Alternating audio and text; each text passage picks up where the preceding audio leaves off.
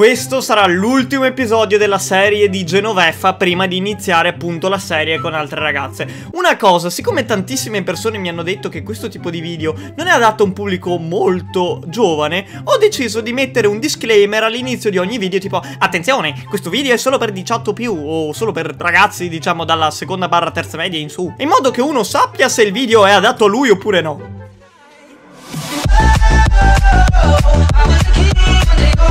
Oh.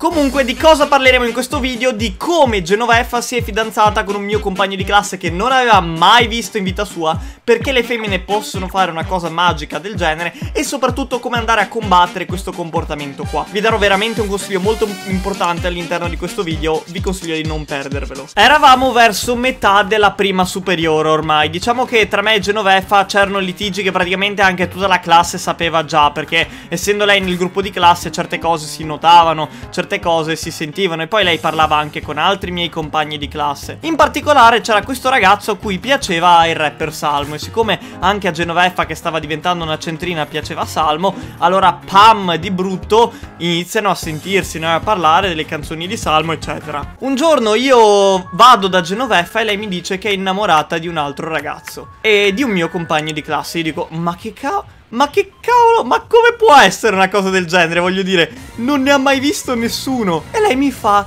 è, è lui. E io dico, ma che, ma che cavolo? Ma vabbè, vabbè, ok, è, è lui, va bene. E io inizio a litigare con lui Cioè in classe si inizia a creare una faida Dove c'è un gruppo che sostiene me Che dice che lui è un figlio di donna Di facili costumi, meretrice E c'è invece chi è dalla sua parte dicendo che Eh vabbè, è, la scelta è di lei Quindi, quindi sia, è giusto che lei scelga. E al tempo ero immaturo e non capivo, in realtà adesso vi dico che io mi sarei schierato nel, nel gruppo contro il mio. Nel senso, lei eh, ha scelto un altro, quindi c'è da accettarlo, nel senso non c'è tanto da, da, dire no, lui me l'ha rubato o roba del genere, assolutamente no. Alla fine è una scelta sua e io morirò subito grazie a questo tipo. Addio.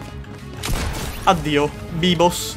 Addio, Bimbos. Mi, mi, mi dispiace proprio, mi dispiace, Bimbos. Sta di fatto che comunque in classe litigavamo tantissimo Una cosa che io mi ricorderò sempre è che praticamente una volta venne addirittura una specie di donna ehm, per parlare, no? Sapete quelle cose che si fanno in classe per perdere un po' di lezione Dove tipo c'è una donna che parla di temi esterni Quindi magari tipo de del bullismo, del, de delle malattie, cose di questo genere qua E una volta venne questa qua appunto per eh, far sì che nella classe tutti andassero d'accordo con tutti gli altri e tipo io mi ricorderò che lei chiese Eh, c'è qualcuno che ce l'ha a morte con uno in classe per qualsiasi motivo? E io faccio Sì, io, con lui E indicavo l'altro tipo Là ci siamo sbregati un po' da ridere Comunque il discorso sta di fatto che Ma, cioè, è normale che spawni una pistolina così con le munizioni?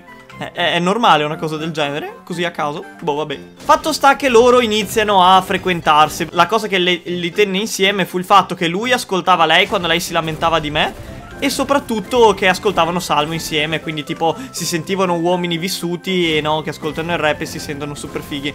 Vabbè, ma che senso ha il van in singolo? Scusatemi un attimo. Ma che... Boh, vabbè. Però dovete sapere che in questo tipo di relazioni, in queste relazioni un po' fatte così a, a, a caso, diciamo, fatte tanto per farle, c'è un problema di base, che quando una femmina inizia a pensare che un altro ragazzo sia meglio di voi, soprattutto se avete avuto un rapporto parecchio lungo e intenso, quella ragazza inizierà a confrontare sempre quel ragazzo con voi. E la maggior parte delle volte il ragazzo perderà. Infatti è difficile che comunque cioè, diciamo che quando tu hai una relazione con una ragazza, ma anche di amicizia, fai un certo tipo di rituali, magari andate a mangiare sempre al Burger King, magari eh, guardate sempre i film tipo il sabato sera oppure giocate ai videogiochi insieme o che ne so io andate a, al campo sportivo, andate al parco, fate una passeggiata, insomma ci sono dei tipi di rituali che vengono fatti. E chiaramente lei quando si va a rifidanzare lei eh, lo fa anche un po' per riempire quello che è un buco all'interno di lei. E non pensate male che io so già che voi pensate male ma lei lo fa appunto per riempire quella che è una mancanza all'interno di sé. Quando lei si rende conto che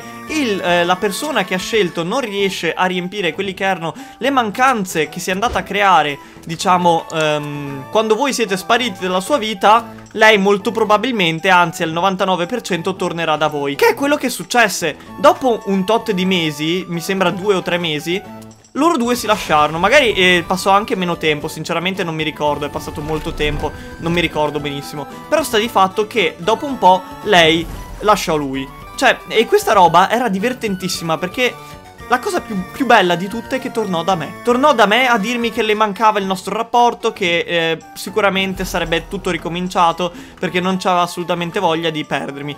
Il discorso è che invece per me ormai non esisteva questa roba qua. Cioè col cavolo voglio dire, le cose hai deciso che sono finite, sono finite. Non esiste che tu vieni, prendi, te ne vai, un po' torni, cioè non esiste sta roba, è una roba da sottoni, non da, sicuramente da, da, gente seria. In realtà noi tornammo amici, ma per, proprio per brevissimo tempo, perché comunque a me lei non interessava più, non, non me ne poteva fregare più di meno di lei, voglio dire, la mia vita era andata avanti, cioè ti sei messa col mio amico, vedi che col mio amico non è figo quanto con me e allora torni da me. No, non funziona così. Non funziona così. Non dovevi andartene in prima di tutto, quindi non aspettarti di tornare. O almeno con lei il ragionamento era questo. Poi chiaramente è perché magari passò troppo tempo e quindi anch'io mi distaccai assolutamente. Cioè, ma io di solito quando una persona se ne va mi, mi cioè, è inutile raga tanto mettersi a piangere Cioè si va avanti e fine. Se ne troverà sicuramente una migliore dietro l'angolo. Anche nella mia vita sono stato con tante tipe che pensavo fossero le migliori del mondo E sempre dietro l'angolo ce n'era una che era mille volte meglio. E sarà sempre così. È ovvio che quando ti innamori vedi solo le cose positive E non vedi mai i difetti Quindi qualsiasi tipa ti sembra la migliore del mondo eccetera. Quando in realtà poi basta che ti volti un attimo e vedi una tipa anche mille volte meglio Sia più figa che più, più interessante. Lei eh, tornò da me ma non, non trovò quello che si aspettava, non trovò il me di un tempo, non trovò il me pronto a fare qualsiasi cosa per lei, a farle da schiavo, non trovò il me che era disposto a fare tutte le cose. Lei voleva un po' avermi per metà, avermi sia... cioè lei voleva avermi come amico e al contempo stesso però iniziare, cioè stare con gli altri. Io non lo accettavo, chiaramente. E così pian piano il nostro rapporto si affievolì sempre di più perché comunque a me non interessava lei, non, veramente non ci vedevamo più, non, non, cioè non facevamo più le cose che facevamo un tempo, quindi non avevo neanche più quell'interesse a dire sì dai passo un sacco di tempo con lei. Cioè per me lei ormai non era più nessuno, a differenza di questo nemico che è qualcuno che devo uccidere. Infatti, infatti, se l'è giocata un bel po' devo dire. Ma che cavolo, tu da dove compari diamine? Mai giocare senza le cuffie. Mai giocare senza le cuffie. Ma la cosa più divertente fu col mio amico, perché il mio amico la odiava, cioè aveva iniziato a odiarla e a odiarmi perché chiaramente noi addirittura facciamo un gruppo dove eravamo tutti e tre dove lui si lamentava del fatto che lei appena lascia lui torna subito da me e, questa, e io ci godevo una vita al tempo perché comunque era un po' una vendetta nei suoi confronti però al contempo stesso, cioè, non me ne poteva sbattere di meno, sinceramente, eh, ve lo dico la verità. Io e Genoveffa, mh, da allora praticamente non ci parliamo più. Adesso abbiamo un rapporto che se ci vediamo ci salutiamo, ma finisce lì. Nel senso non è che poi parliamo, robe del genere. Sinceramente non mi interessa un'amicizia con lei o una roba del genere. Secondo me certe persone sono destinate ad avere un rapporto oppure no. Cioè non, non c'è una via di mezzo, eccetera. Perché sicuramente uno dei due finirebbe per starci male. Come è successo in passato, quando magari lei era innamorata di me, poi io mi innamorai di lei e alla fine entrambi, diciamo, ci, ci, ripudiavamo a vicenda. Quindi, diciamo, questo è quello che successe nel nostro caso. Chiaramente ci sono vari casi diversi, voglio dire, è ovvio che ogni persona ha un valore differente da un'altra.